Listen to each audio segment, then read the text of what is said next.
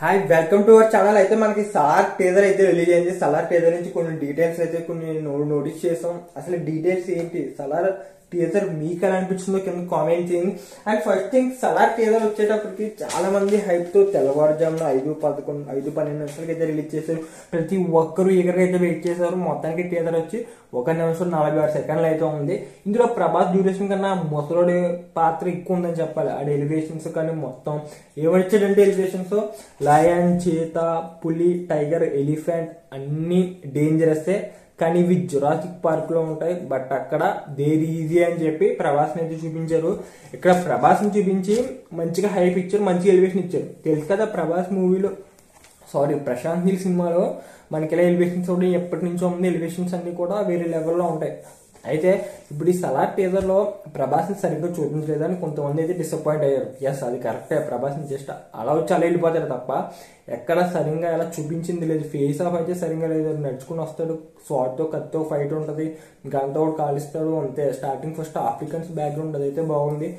తర్వాత అయితే పెద్దగా ఏమీ లేదు. అంటే ఫ్యాన్స్కి నచ్చుండొచ్చు. ఎందుకంటే చాలా రోజుల తర్వాత ప్రభాస్ మాస్ కమర్షియల్ ఫిల్మ్ అంటే మిర్చి తర్వాత ఇదే కదా. మంచి యాక్షన్ సీక్వెన్స్లో అండ్ ఏదో కొన్ని పాయింట్స్ అయితే నోటీస్ చేశాను. అందులో ఫస్ట్ వన్ వచ్చి మనకి Salaar part one part two KGF అయితే మనకి పార్ట్ వన్ మూవీ ఎండింగ్లో అయితే పార్ట్ టూ ఉంటుందని అనౌన్స్ చేశారు. మనకి మూవీ టీం వాళ్ళు ముందైతే ఏమి అనౌన్స్ చేయలేదు. కేజీఎఫ్ మూవీ ఎంత టైటిల్స్ పడినప్పుడు సినిమా థియేటర్లో పార్ట్ టూ ఉండబోతుంది అని చెప్పి అనౌన్స్ చేశారు. బాగానే ఉంది. బట్ ఈ మూవీస్ అలా పార్ట్ వన్ పార్ట్ వన్ చెప్పి మనకి ముందు నుంచి సోషల్ మీడియాలో వినబడుతుంది. అంటే పార్ట్ వన్ పార్ట్ వన్ చెప్పి సోషల్ మీడియా చెప్తుంది. అది రోమరా అని తెలియదు నిజమని తెలియదు బట్ ఇప్పుడు వీళ్ళు మూవీ అనౌన్స్ చేయడంతో పార్ట్ వన్ అని చెప్పి సీజ్ ఫైర్ అని పెట్టారు. ఈ పేరుతోనే మనకి movie first part one story ఏదైనా చెప్పేశారు. అదే ఎలా అంటావా? అసలు సీజ్ ఫైర్ అంటే ఏంటో తెలుసా? పార్ట్ వన్ సీజ్ ఫైర్ అని ఇచ్చారు కదా సలార్ కింద? దాని అర్థం ఏంటో చెప్తాను చూడండి. సీజ్ ఫైర్ అంటే మన తెలుగులో కాల్పుల విరమణ. అంటే చెప్తాను. శాంతి గురించి చర్చలను అనుమతించడానికి పోరాటాన్ని అవ్వడానికి సాధారణంగా రెండు సైన్యాల మధ్య ఒక ఒప్పందం. అంటే ఒక అగ్రిమెంట్ ఇక్కడ రెండు సైన్యాలు ఉంటాయి కదా రెండు ఆర్మీస్ ఉంటాయి. సపోజ్ వాళ్ళిద్దరు ఉండే అగ్రిమెంట్ పోరాటాన్ని ఆపి శాంతి భద్రతల కోసం వాళ్ళు మాట్లాడుకోవడానికి అంటే జస్ట్ శాంతి కోసం వాళ్ళు మాట్లాడుకోవడానికి అంటే శాంతి భద్రతల కోసం వాళ్ళు మాట్లాడుకోవడానికి ఒప్పించిన ఒప్పందం. అంటే వాళ్ళిద్దరూ ఫస్ట్ ఇంకా దీన్ని బట్టి స్టోరీ ఏంటి చెప్తుంది చూడండి. మనకి సలార్ పార్ట్ వన్లో క్లైమాక్స్ వరకు ఇంకా టూ ఆర్మీస్ అన్నారు. అంటే సపోజ్ ఒకటి సలార్ దగ్గర ఉండొచ్చు ఇంకోటి జగపతి బాబా ఉండొచ్చు. చాలా ఛాన్సెస్ ఉన్నాయి ఇలాగా అయితే పృథ్వీరాజ్ కుమార్ అన్న ఇలా ఉంటాయి కదా మనకి విలన్ రోల్ ఇలా వీళ్ళిద్దరూ ఫేస్ ఆఫ్ అంటే ఫస్ట్ మూవీ పార్ట్ వన్ దాదాపు అంతా కుట్టేసుకుని క్లైమాక్స్లో వీళ్ళిద్దరూ శాంతి అంటే శాంతి భద్రతల కోసం మాట్లాడుకోవడానికి ఒప్పించుకున్న ఒప్పందం. అంటే ఫస్ట్ అగ్రిమెంట్ వీళ్ళిద్దరూ కూర్చొని మాట్లాడుకోగలరా మనం ముందని చెప్పి మాట్లాడుకోవడానికి ఒక అగ్రిమెంట్ దాన్ని సీజ్ ఫైర్ అయితే అంటారు. కాబట్టి క్లైమాక్స్లో మనకి ఎలా అగ్రిమెంట్ అయితే ఉండబోతుంది అనుకుంటున్నాను నేను? దాని నుంచి పార్ట్ టూ లింక్ చేయబోతున్నారు. దానికి పార్ట్ టూకి ఏం పేరు పెట్టబోతున్నారో తెలియదు ఇది part one cease fire meaning పక్కన మీకు డిస్ప్లే కూడా చేస్తుంది చూడండి. ఇంకా నెక్స్ట్ వన్ వచ్చి మనకి రాజ్ జగపతి బాబు. టీజర్లో జగపతి బాబు అయితే చూపించలేదు. వరదరాజు మండలి అని చెప్పి పృథ్వీరాజ్ కుమార్ అని జస్ట్ ఒక టూ సెకండ్స్ అలా స్లైడ్ చేసి వెళ్ళిపోయాడు అంతే.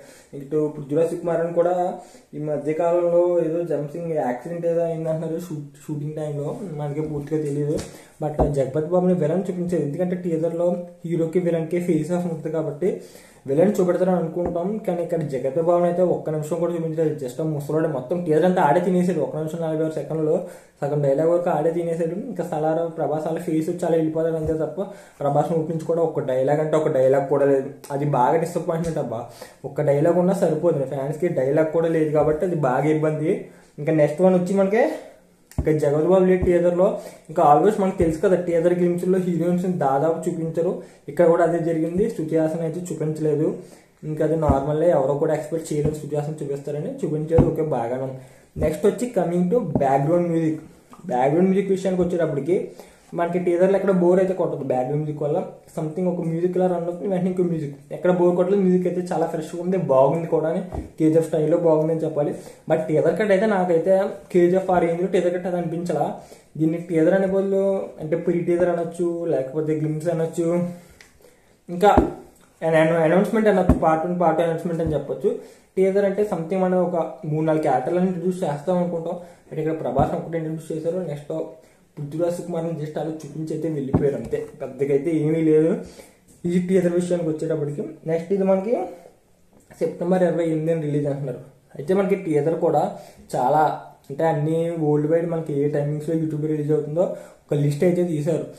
యూఎస్ ఈ టైంకి నేపాల్ ఈ టైంకి ఆస్ట్రేలియా ఈ టైంకి ఇండియాలో ఈ టైంకి ఇలా మొత్తం ప్రతి కంట్రీకి వేస్తారు బట్ ఇది ఎప్పుడు జరగలేదు. ఒక టీజర్కే వరల్డ్ వైడ్ టైమింగ్స్ ఎలా రిలీజ్ చేయడం చాలా అంటే చాలా రేర్ అలాంటిది ఇప్పుడు ఇలా వదలో ఉన్నది చాలా ఒక ఇండియన్ సినిమా ఒక మెట్టి ఎక్కిందని చెప్పాలి.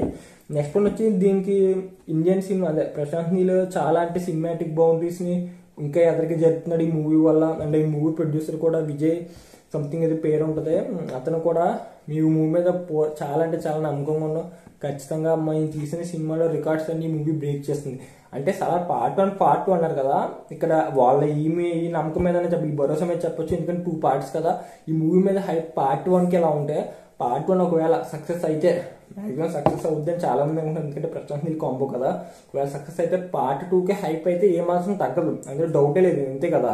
పార్ట్ వన్ మనకే మంచి హైప్ ఇప్పుడు వరకు ఒక టీజర్ ఒక టీజర్కి ఫస్ట్ లుక్ పిచ్చెక్కిపోయారు జనాలు. ఫస్ట్ సింగిల్ వదిలి తర్వాత సెప్టెంబర్ ఇరవై మంచి టాక్ వచ్చి blockbuster two thousand crores collect చేసిందంటే ఇంకా పార్ట్ టూకి అయితే ఇంకా ఎక్కడ డోకా లేదని చెప్పాలి. కాబట్టి పార్ట్ టూ వీళ్ళంతా ధీమా మీద ఉండడం వల్ల ప్రొడ్యూసర్ అయితే మేము తీసిన సినిమాలో అన్నిటికన్నా ఈ మూవీ ఎక్కువ కనెక్ట్ చేసింది బలగుద్ది అయితే చెప్పాడు ప్రొడ్యూసర్ మరి మూవీ చూస్తే హుంబోలే పిక్చర్స్ అంటే మనకి కేజీఎఫ్ బ్యాండర్ సేమ్ మరి ప్రభాస్ మార్కెట్ ముందు మూడు సినిమాలు పోయినాయి ఆ దరిద్రం ఏమన్నా అడ్డుకుంటుందా లేకపోతే ఆ దరిద్రం వదిలి ఏదన్నా సక్సెస్లోకి వెళ్తాడన్నది తెలియదు.